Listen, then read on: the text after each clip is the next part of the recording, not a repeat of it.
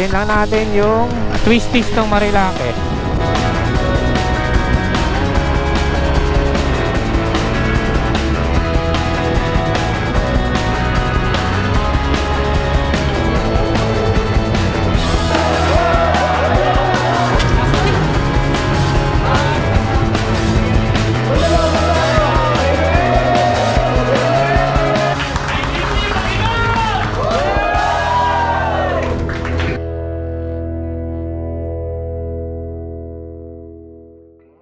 What is up mga chong? Good morning! Meron tayong ride today ulit.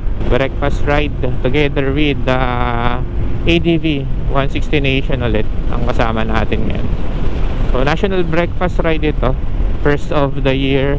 Parang yearly yata nila ginagawa. So nandito tayo sa Maidanghare. Punta tayo sa unang meetup point kung saan magkikita-kita ang mga taga Caviteño RT. And may kasama tayo ngayon. Kasama natin si OBR sa ating ride. So tara. Punta lang muna tayo sa first um, meetup point dito sa may Jollibee Bermosa. Good morning sa lahat and ride safe sa mga may ride ngayong umaga.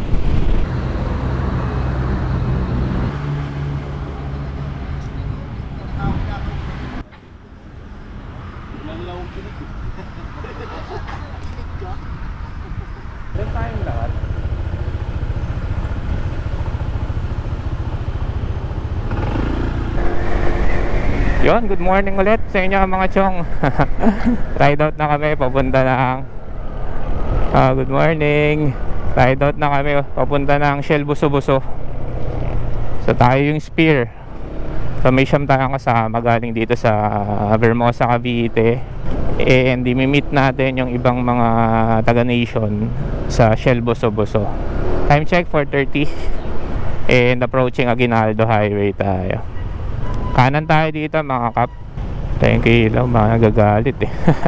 May naiwan pa. I-slow down kami, sige. Dito na tayo sa C5 extension. So bali may dinaanan lang kami sa St. Dominic. Bali total of 12 na tayo papunta ng Shell Buso-Buso. Good morning doon sa mga bago. Pagpasensya nyo na, vlogger, vlogger, vloggeris ako eh. Tayo natin sila Arjo. namali sila na namaligay ng liko eh, no?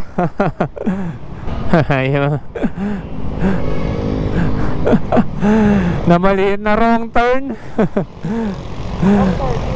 wrong turn. Nakatawid na lahat, no? 45 minutes away tayo, mga kap. Dire-diretso lang tayo, mga kap, hanggang makadire nakarating tayo ng Libis. Napasikat na yung araw, mga chong. Ah, warm up to ah. Warm up yung mga yan. Yun, good morning na. Ayan na, good morning sunshine. Doon tayo mapunta. Ganda oh. Luwag na dito. Ang lamig. Sino nag-iwan na nakabukas ang aircon? May nagbukas ng pinto, nakalabas yung aircon. Oh. banking banking na. Kurbada ata kasi ito na maluwag kaya sabi slow down, may mga ginagawa. Oo, kurbada kasi. Yan o, may roadworks din. Ah, may aksidente yata. Hindi, may aksidente yata. Shit! Mga ano, shit. Ay, ang dami ang nangyari dito. Ingat tayo, ingat tayo. Wag, wag nyo nang isipin, mga kap. Diretso na tayo. Ano, tayo.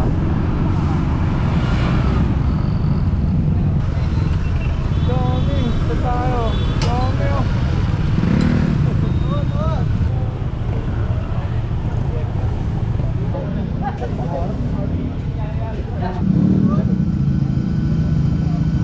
Ito aming ATV from different artists.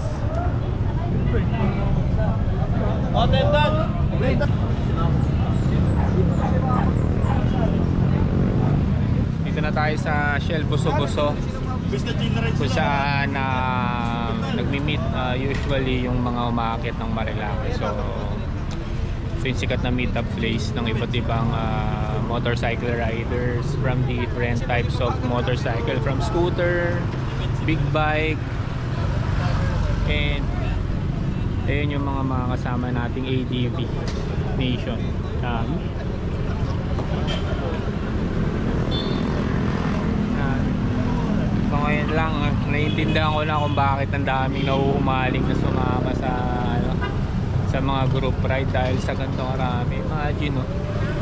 Dami na, no? From different groups. Sila. Dami.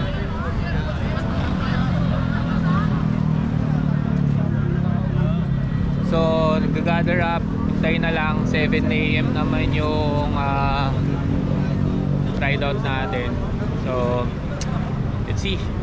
Kita-kita tayo sa Francos Veranda sa Marilake. Shoutout sa mga taga Caviteño. Caviteño RT. Shoutout, shoutout. Ito yung kagandahan na sumasama ka ng group ride. Kasi um, hindi palagi or may bago ka palaging na ano na nami-meet. Tulad dito sa mga kasama ko sa Cavite. So nung nag-ride kami sa Batangas, iba-iba yung kasama natin.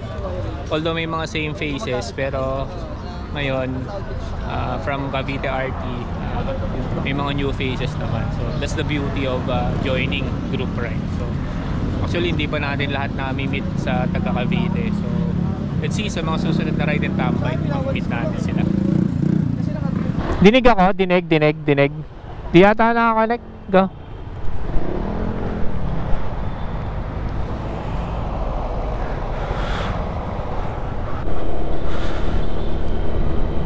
Alright, let's go. Ride out na tayo. Papunta ng Francos Veranda. So, na-meet na natin yung mga iba nating kasama ah, from different RT. So, mamaya alamin natin kung ano-anong mga RT yung mga kasama natin na yun.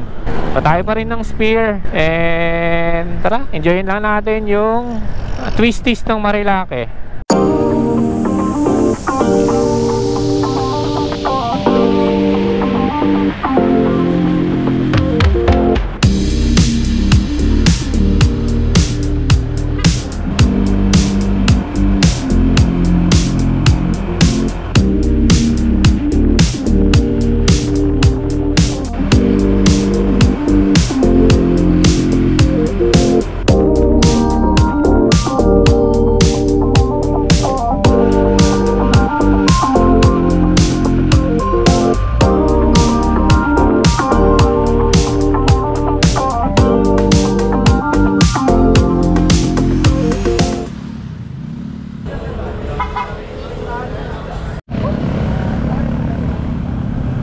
Kami pang dumarating, wala pong parkingan sa haba niya, no?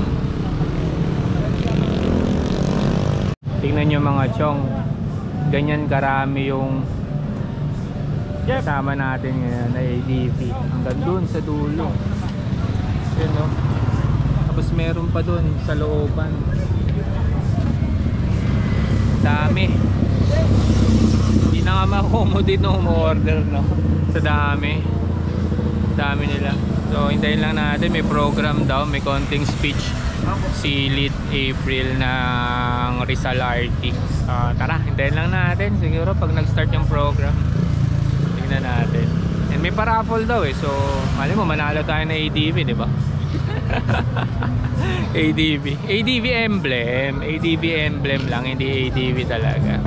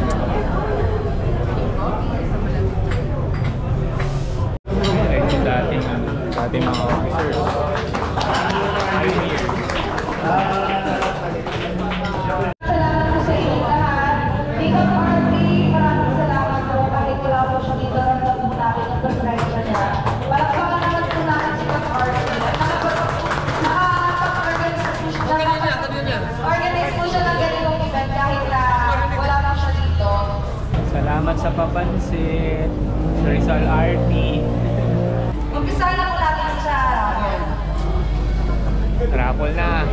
Ka na.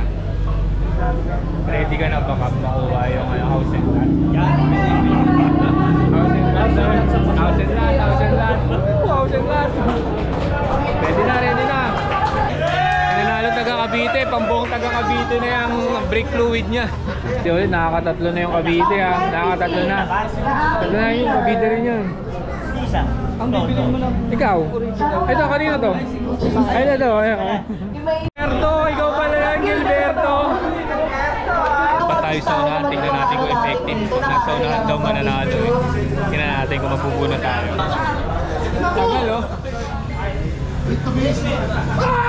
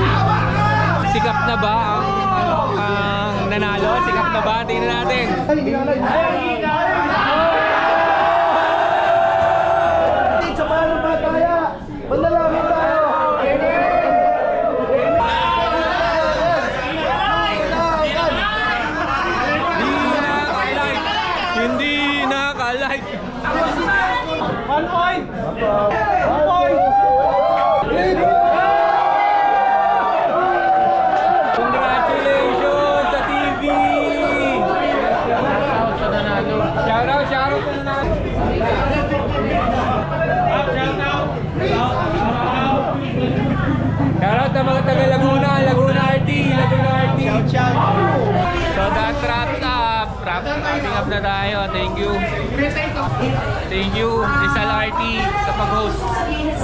Yun na nga, natapos na. At hindi tayo nabunot. Pero okay lang yan. Next time ulit. Subscribe kayo.